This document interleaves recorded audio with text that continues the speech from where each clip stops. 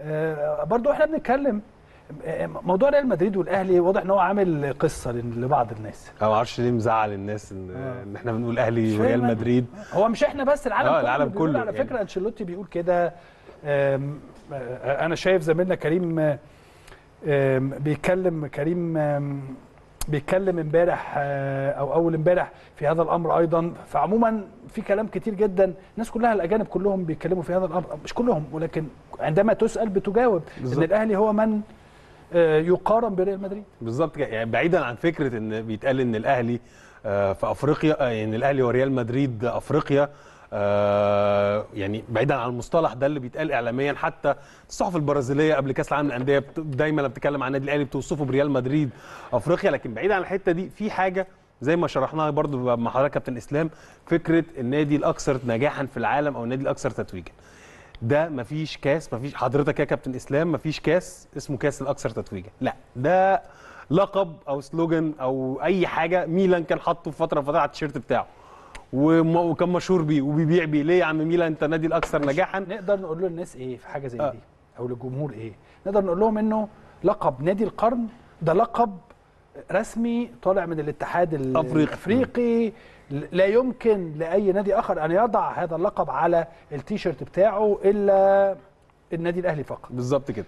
ده الفرق ما بين لقب رسمي ولقب تسويقي. تسويقي. بالظبط كده. أكثر من أي أمر آخر. بالظبط كده. فهو اللقب ده ال- كل اللي حصل إن النادي الأهلي في 2014 من خلال كمان الإعلام الإيطالي اللي هو العكس اللي ضد ميلان وشعبية النادي الأهلي. الناس ابتدت تقول إيه ده؟ ده النادي الأهلي خد بطولة بالمناسبة بطولة الكونفدرالية اللي هي في 2014 أوكي. و آه، أو اللي هو وقتها دي كانت البطوله رقم 20 لكن قبلها لا كانت السوبر الأفريقي وقتها كان السوبر الأفريقي اللي قبليها آه، بتاعت آه، الصفاقسي وإن النادي الأهلي عدى ميلان وابتدى الموضوع ده يتفتح في إيطاليا. وابتدى حتى الناس في إيطاليا تقول لك لا ده هي إيه يعني إيه ده البطولات في أفريقيا مختلفة والبطولات في أوروبا والقصة دي. لكن في الآخر الناس احترمت فكرة إن هم حاطين معايير لل slogan ده وبالتالي النادي الأهلي قدر بعد كده بعد ما كسب الكونفدرالية وبقى 20 لقب. صحيح. بقى يستخدم يتداول هذا ال slogan أو هذا الشعار وبيسوق بيه النادي الأكثر.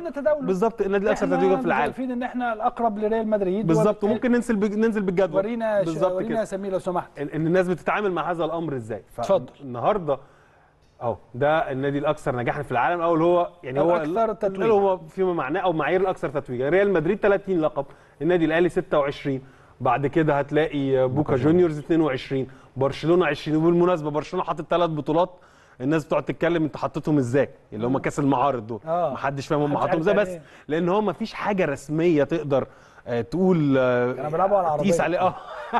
تقيس عليها القصة دي. فتمام برشلونة أنتوا 2020 إندبندينتي الارجنتيني آه، 20 وميلان 18 طيب أنا عايز بقى إيه للناس اللي بتتكلم على المقارنة؟ أو بتقول لك أنتوا هتقارنوا أوروبا وأفريقيا. وبت... واشمعنى النقط ومش... والقصة دي. تعال نخش في صورة اللي جاية دي كابتن إسلام. والحمد لله إن هي موجودة كانت في الأرشيف ولسه موجودة. ده خبر رسمي نزل في الموقع الرسمي نادي برشلونة. أوكي. في الف... أغسطس 2015 هنستعرضه دلوقتي. الخبر ده. ده خبر في موقع رسمي. هم وقتها برشلونة كان بيقول إيه؟ بيقول إن إحنا تخطينا عدد البطولات القارية في أوروبا أهو. بصوا هنا بيتكلموا عن الويفا ranking لل international title ترتيب أندية أوروبا في البطولات القارية. وحتى تلاقي في أول آه paragraph أهو في ال- في الخبر إن برشلونة انتقل إن هو بقى النادي most successful club in term of international trophies إن النادي برشلونة من خ... بقى النادي الأكثر نجاحا في أوروبا من خلال معايير ال- البطولات الدولية. than ريال مدريد and اي سي ميلان. بالظبط كده. فوق. فوق آه فوق. هو بيتكلم إن هم بقوا وصلوا وقتها 19 لقب عدوا ريال مدريد وإي سي ميلان. ميلان اللي هم عندهم 18 more than 1 بالظبط. يعني أكتر من واحد. والخبر ده كان في أغسطس 2015 تكملة الخبر ده كابتن إسلام آه. وده خبر في الموقع الرسمي لبرشلونة. هم بيفتخروا بإن هم بقوا النادي الاكثر نجاحا في أوروبا في ذلك الوقت. أوكي. تكملة الخبر الصورة اللي بعدها بص هنا كملوا إن هم بيشرحوا إن هم عدوا ال- ريال مدريد وميلان وفي الليستة دي في ليفربول وبايرن ميونخ ويوفنتوس اللي هم عندهم كان وقتها 11 طيب كاتبين بقى في ما يخص العالمية إن هم في ديسمبر في وقتها يعني في أيوة. ديسمبر هم هي عندهم الفرصة إن هم يزودوا لقب كمان من خلال كأس العالم. العالم للأندية اللي كانت وقتها أعتقد في اليابان عشان يبقوا يتعادلوا مع ال most successful club in the world in term of international titles اللي هو مين؟ الأهلي.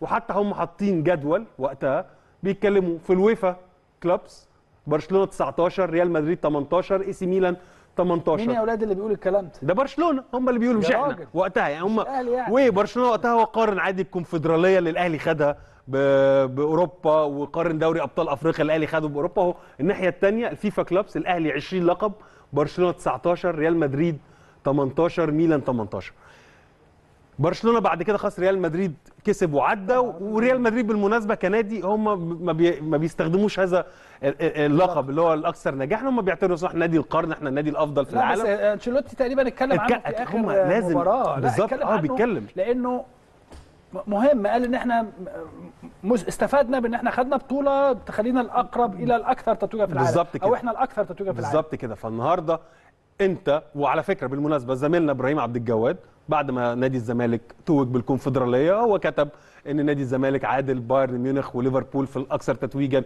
وكان في زملاء صحفيين بيطلعوا يتكلموا عن هذا الأمر إن في الحسبة بتاعه الأكثر نجاحا نادي الزمالك آه، من خلال تتويجه بالكونفدرالية وصل لرقم جيد. معرفش ليه أول لما اتقال إن النادي الأهلي قرب لريال مدريد بعد كده ريال مدريد كسب لا اصل ده ريال مدريد رجعوا بنتكلم في المقارنة دي. في ناس زعلت أو في ناس قاعدة تقول لك إيه الكونفدرالية ودوري الأبطال وكأس العالم للأندية فدي القصة باختصار عشان بس إحنا ليه بنو... بنقول الكلام ده كابتن إسلام؟ بنوضح لجمهورنا حاجة جميلة جدا إن أنت بص أنت بتتقارن بمين؟ أنت النهارده بطولاتك القارية دي لما بتكسبها الناس بتبص لها إزاي؟ فلا أيوه إحنا النادي الأهلي بيقارن بريال مدريد آه إحنا بنقارن بريال مدريد وإحنا حر... أنا آسف إحنا حرين.